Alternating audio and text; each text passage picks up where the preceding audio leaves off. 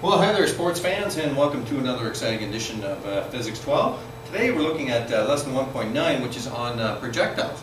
So this indeed is for you sports fans because uh, anything that you throw or kick or hit with a bat or hit with some kind of a racket, uh, it becomes a projectile. And so we're going to be looking at the, the motion of that today and, and how to analyze the motion of a uh, projectile.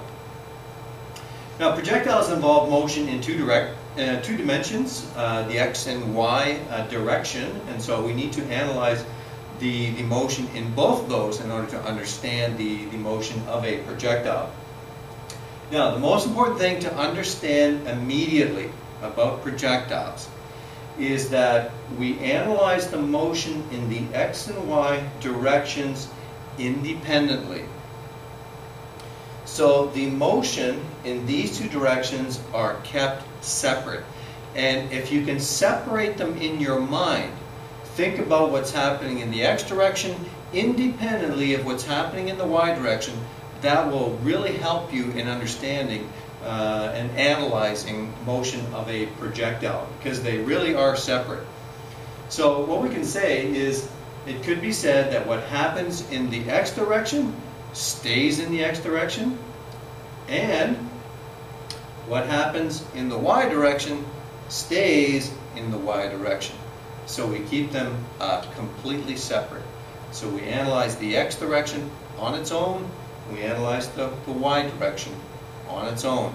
Now together the two of them uh, define the, the trajectory of a projectile. But when you're doing your analysis, keep them separate um, in, in your analysis and try to, try to keep them separate in your mind as well. And that will help you understand what it is that's happening uh, throughout the trajectory of a projectile. So here's an example of, of a projectile. This is a ball that's been launched and it's uh, bounced a couple of times here.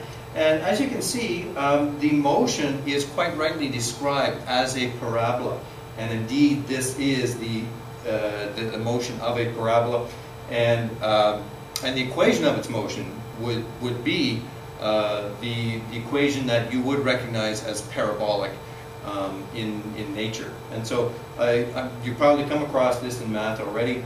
Equations of a parabola um, and and the the trajectory of these objects of projectiles you would recognize that as a, as an equation for a parabola, and that's in, that is indeed what it is. Um, so what we need to do then is in, in analyzing projectiles, we need to look at the x component and we need to look at the y components. And we need to look at them separately. Because what's happened here is when something is launched and it's given a velocity component in the x direction, that velocity component will always be the same. There is no acceleration with a projectile in the x direction.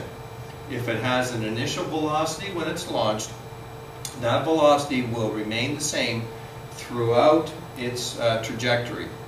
Not so in the y direction, of course, because the object is being accelerated in the y direction uh, by gravity.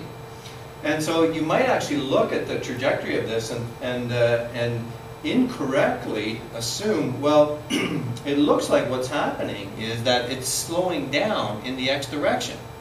So as the further it goes out, um, it seems that it's, it's slowing down in the x direction, but really it's not. The velocity component in the x direction is staying the same. What's happening is is that it's speeding up in the y direction. So it appears as though it's slowing down in the, in the x direction, but really all that's happening is the component of velocity in the y direction is getting larger and larger as time goes by. And so once again, there is no acceleration in the x direction. Nothing is accelerating. It's not speeding up, it's not slowing down. However, in the y direction, gravity is accelerating the object, so it um, it is indeed speeding up in the y direction. And this, this illustrates it nicely here because what they've done here is they've, uh, they've launched two, uh, two balls, uh, a red one and a yellow one, at exactly the same time. And one is given um, an x component of velocity, and the other one is just uh, simply dropped straight down. And you can see that um, at this, the, the red and yellow balls are, are at the same height um, at each of the, the images. And uh, so what, what that's illustrating is that um, in the y direction, the objects are always in the same place. They're all, they will always be at the same height um, at any given time. What's different about these two is the only difference is that the yellow one has been given uh, a component of velocity in the x direction and the one in the, the red one uh, does not. That's the only difference between these two. So you can see their motion in the y direction is identical in the y direction, not so in the x direction, however. So we can look at the, uh, the velocity, um, the velocity vectors of the, of the projectile throughout its trajectory. And as you can see, the velocity vectors will change over time. So if it's launched with a certain velocity um, in this direction like here, it has an x component to it. That x component of the velocity, again, will be the same no matter where it is in its uh, trajectory. Uh, the y velocity, however, will change. So the initial uh, sorry, the initial y velocity will continue to decrease, and at, at the top of its trajectory, that y velocity will indeed uh, be zero at that point. So its velocity vector at that point, at the top of its motion, will be identical to its x component when it was launched. The other interesting thing to note about this, and again we're ignoring uh, uh, air resistance and, and anything else, but when, when the object gets to uh, the other end of its trajectory like so, its velocity magnitude will be the same as when it was launched. So the velocity here will be the same at launch, the only difference is it will be in the opposite uh, direction. Um, however, uh, that is uh, some good information to know uh, when you are analyzing these things is that the velocity over here, the magnitude of that will be the same as this one here. And the, and the other useful piece of information is that at the top of its trajectory, the velocity in the y direction is indeed uh, zero. And that's some useful information when, when you're going to analyze some of these problems. So uh, problem solving then uh, involving projectile motion.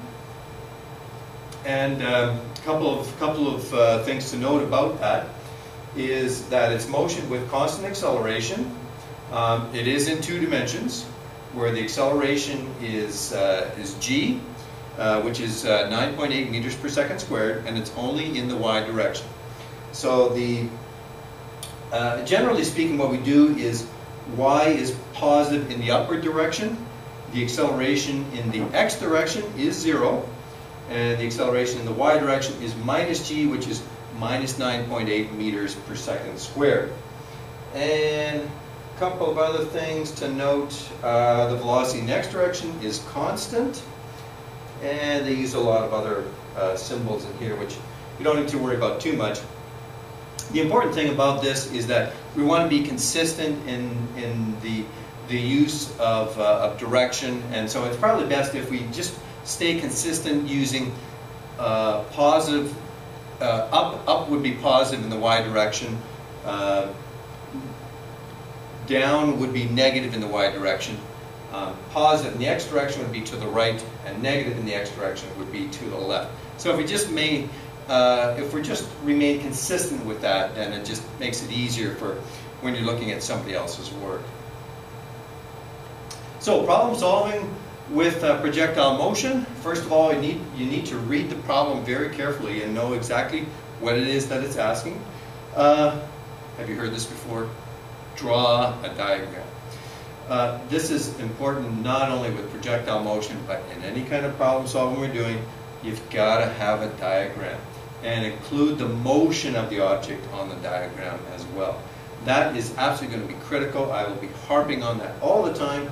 So uh, save me the trouble of, of continuing to, to have to tell you that. Just go ahead and draw a diagram right from the beginning. Then choose an origin and a coordinate system, and then uh, decide on time intervals.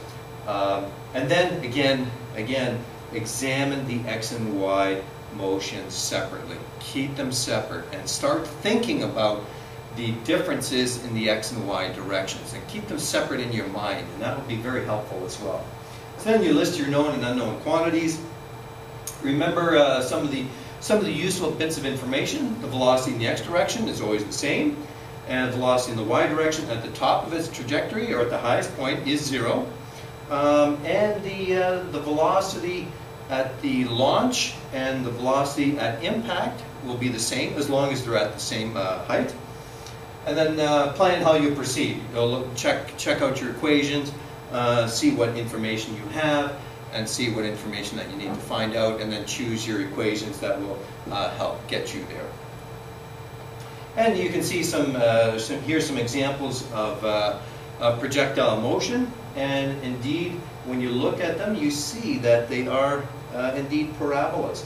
And uh, so when you put the, the x and y motion together, you, your equation will be something like that, uh, which is indeed the equation of a, of a parabola. And uh, so you've probably come across those kinds of equations before and, and parabolic uh, motion.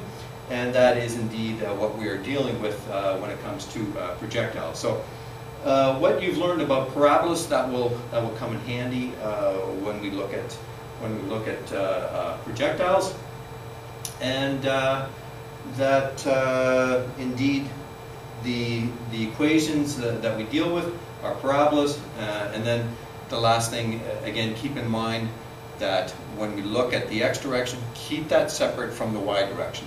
And that will be uh, very helpful in, in terms of uh, dealing with these kinds of problems.